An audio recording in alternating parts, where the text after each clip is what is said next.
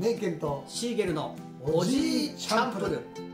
はい、えー、今夜も始まりました。始まりました。えー、今日はね奄美大島に来ております。ようこそ。はい。ありがとうございます。やってまいりました。あのー、そこで、えー、ここ今撮影しているこの場所は、はい。うん、あ奄美メディアステーション。とい。う会社でございまして。ハイカラなところですね。ドローンもパソコンもいっぱいあって。そうですねいかにもやっぱメディアステーションという感じがします、えー、ゲストはメディアステーションの社長常田社長でございます。よろしくお願いします。ようこそって言いながら私たちがお邪魔しております、はい、あのー、最初に奄美メディアステーションのあの、まあ、会社の主な仕事というのを教えていただきたいと思います。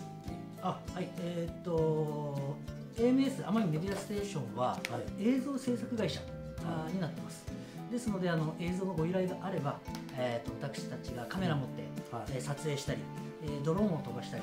えー、水中撮影をしたりとそういったことをさせてもらってます。水中撮影もするんですか？そうですね。はい。簡単なものですけど。おそれダイバーさんというかカメここのカメラマンの方が潜るんですか？えあのー、GoPro を持ってですね。あ GoPro で、はい、GoPro は今水中もあれでいけるんですか？いける。そうなんです。ですよ。僕なんかあのほら専用の袋にスマホを入れて海の中で撮影したそれもまた特殊な技術ですね。技術っていうか売ってますよ普通に。あそうですか。スーパーの袋じゃダメですけどね。ちゃんと密閉できりますか？そもそもそれで。まあ映りますよ。はい。まあ理屈上はね映ります上は映ります。まあ最近のスマホはいいですからね。8K で撮れたりしますから。スマホでも。ねかける機会がないですけど。いや常田社長はまあ奄美全部っていうかあの奄美の外の他のあのなんていうんですか？あの島も行くんですか？他の島も行きますね。特にあの機械島が多いですね。機械島が。ええ。もう奄美からすぐですよね機械島は。はいすぐです、うんいや素晴らしい場所ですね。はい。あそこのほらダイビングスポットは有名ですね。ええはい。今回僕奄美初めてなんですけど、初めて地図を見てね、あの機械島っていうのはちょっと右上の方なんだなとかね、そういうこと初めて知りました飛行機で僕は行ったんですよ。すぐだって言ってもやっぱ飛行機だろうと思って行ったら、シートベルトを締めて上がってあの緩める時間がないですよ。ああなるほど。あとねまた閉めてくださいならいいつ外したんだろうっていうぐらい。近いですね。20分弱で。20分ですから。です。奄美空港がこの辺だったら、機械島ってこの辺ですもんね。そうそうそうそうそう。そうだから同じ側ですからもうほぼね、うんうん、空港と機械島。あれフェリーで行くとどれぐらいかかるんですか？フェリーはちょっとあの便があの悪くてどれくらいかな？時間的にはでも1時間とかで行っちゃうんじゃないですかね。か、はい、12時間中ような話なんですね、はいはい、ああそっちも良かったですねきっとね。わ、うん、かりました。いやまあそういうことで撮影のまあここはまあプロの会社ということですよね。ああはいそう思っていただければと。はい、えー、私たちその名犬バンドもあの今回映画化がその進んでいるというその奄美の木田、えーはい、というまあ映画が出来上がれば僕らも応援団として市民としてあの応援しようと思っていますけれどちょっと奄美のシダに関しては。いやいや奄美のシダってシダってだし植物みたいになっちゃって。シダもでかいですけどあの奄美のティダについては、はい、去年ぐらいからじゃあ準備をもうされてるっていうことですかね。はい。準備はもう1年あもうそんなですか。過ぎてはい、はい、あのお話があって打ち合わせを重ねてるのまで入れるとですねそれぐらいかかってるんですけれども、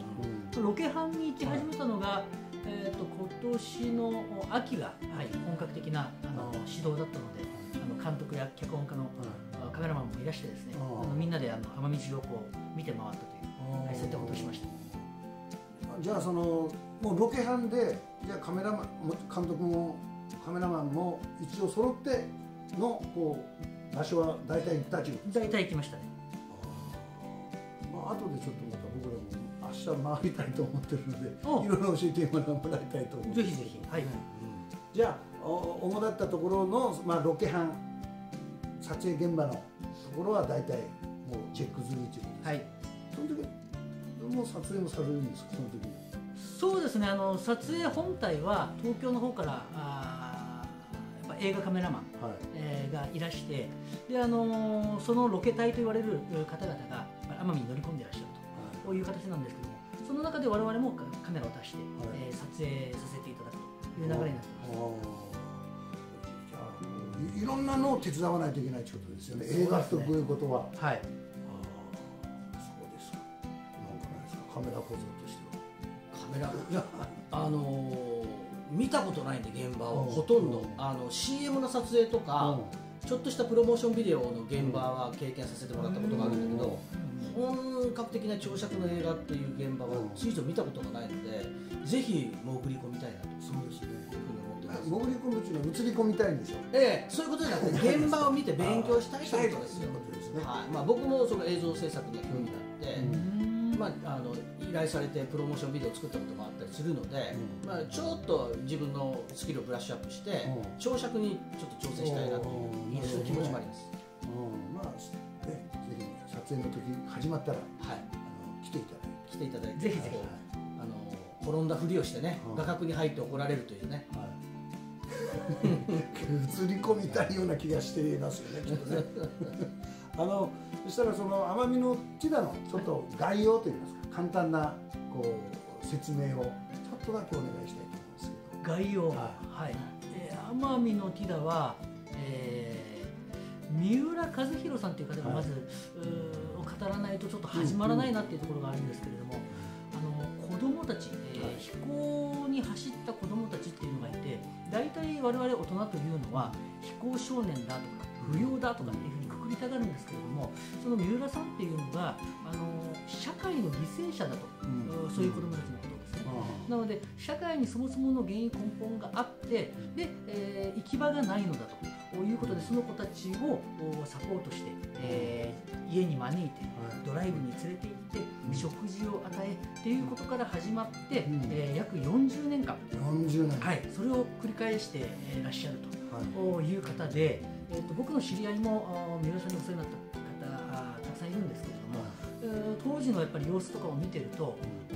携帯をですね耳に当てながらこう寝るんですね、で電話かかってくるともう耳で鳴るわけですから当然起きますよね、そうしないとあの誰か子供たちの命が損なわれるかもしれないという危機感を、えー、毎日365日、24時間対応されるために、そんなことをしてるのに片耳が今聞こえなくなってる状態なんですよ。それぐらい心血注いで人生を捧げて子どもたちのその構成というかあまあ居場所づくりというか何らかの救いの手になればというふうな活動をされている方がいらっしゃると。でそれをまた支える方々もいっぱいいらっしゃるんですけれども、そしてそういう方々の何ていうのかな、あの全員の心みたいなもので、えーと、奄美で、まあ、悪だとか言われてた子どもたちが、あの立派に構成してというふうなことが起こってしかもその方々が構成したという方々が、逆に治安を守るために、あの最初はグレン隊という名前だったんですけども、あのその地域を見守るそういうふうなあ団体を作って、そして、えーと、地域の奄美の治安を回復させたというそういう偉業まで成し遂げたと。その中心になる方がいらっしゃるんです、それが三浦和弘さん、えー、その方のその活動というか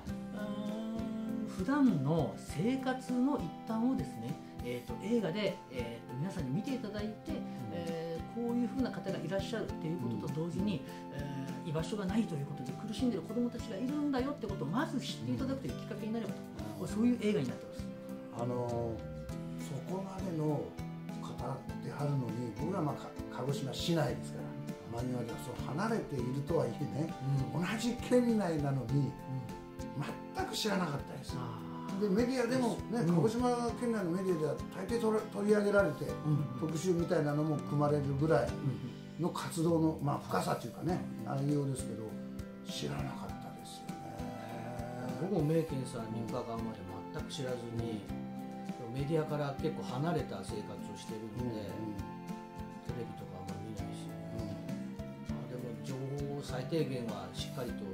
収集しないといけないなっていうのを今回非常に反省点として思いましたね。もうまさかこう県内にね、うん、られるっていうことをねだけどまあそういう意味じゃその良かったですね。その南あの三浦先生が映画、まあ、映画化っていうかその日常のことも含めてね活動もいっぱいわかると思うので全国の方々に、まあ、映画ができたらね知っていただけるっていうのは非常にあれですよね。そのくらいの方だとその預けたいというか子供をお願いしたいというお子さんというか親御さんは全国からも来られるんですか全国から相談があるとおっしゃってました。はい。えっと、ですがやっぱり施設に限りがあるので、うん、その入所させられないと、うん、いうふうなことがやっぱりジレンマとしてあるみたいで、うん、そこは大変あの心を痛めてらっしゃると、うん、いうことはあの常に聞いてます。あのまあまあね簡単に言えない仕事ですよね、こう例えばその施設はね全国にも、まあ、多々あるとは思うんですけども、まあ、特にどこにでもどこでもこうなんていうの預かってくれないレベルの、だただ単に貧しいとか、それだったらね、なんとか目処も立ちますけど素人でも。でもまあ悪と言われたり不連帯と言われたり完全な引きこもったりそういうお子さん方に合わせて、まあそのまあ、授業としてもやらなきゃいけないでしょうしね、大変なご苦労ですよね。そうですよね、子供たちっていうのは、その感性的に神に近いところがあるっていうのも言いますけど、大人がついてる嘘とか表面的なポーズだけっていうのを瞬時に見破っちゃうんですよね。うん。だからおためごかしを言ったところで到底通じないわけですよ、で三浦先生は本当に自分の魂を削って子供たちに与えてらっしゃるので、もう誰の言うことも聞かない子でも三浦先生の言うことだけは聞くという、ね、ところから始まって徐々にその社会構成に向けて頑張っていくっていう図式、生きてていいんだよって。頑張れ頑張っただけ評価されるんだよっていう。我々大人であってもまあ僕いいおっさんなんですけど僕でさえも三浦先生に鼓舞されますもんね、いやのシーゲルさんってね素晴らしいミュージシャンなんですよって。超有名人なんですよって。もうあの他の人が言ったら歯の浮くような、ね、美辞麗句なんだけど三浦先生が言ったらなんか本当になっちゃうんじゃないかみたいなね気持ちにさせてくれるっていう。ですよね。すごい。瞬間にそうなってきますよね、う。ん、でみんなはだから子供たちにとっても、うん、多分そういうことなのよね。その、うん、どどんなその難しい手法とかじゃなくて先生は先生の普通のこととしてそれをできるから、うん、子供たちも先生の言うことを聞くわけですよね、もう三浦先生だったら例えばね0点の答案見ても「うわ綺麗に名前書けたねよかったね偉いね」って言って0点の子でも元気づけてしまえるっていう。そうですよね。まあ本当不思議な三浦先生、はい、えー、ということになりますが映画の撮影ではじゃああの全部付き合っていかないといけないということですよね。そうですね。あのプロデューサー職を僕も授かってるもんですから、うん、あのプロデューサーとしての仕事はさせていただくそういう形ですね。特にねそれはもう舞台が奄美ですから、ええ、ほぼほぼ全部やるようなもんですよね。撮影が始まるとね、はい、そう。だから東京組現地組ってはよく言いますけど、うん、現地組のトップです。そういうことですね、えいやそれはまあ映画の完成が楽しみなところですけれども、はい、まああの僕らのこのラジオでもおいおいこう動き出すとあの刻々と今こうなってるとかというのを、まあ、ニュースもいただいて、出せるところをあのぜひ出して、それでも多くの人にね知ってもらいたいと思いますね。本当に素晴らしい映画になると気がします。そうですね。ありがとうございます。じゃあとりあえず前半はここまでということにして、はい、ちょっと休憩をしたいと思います。は、ありがとうございます。ありがとうございます。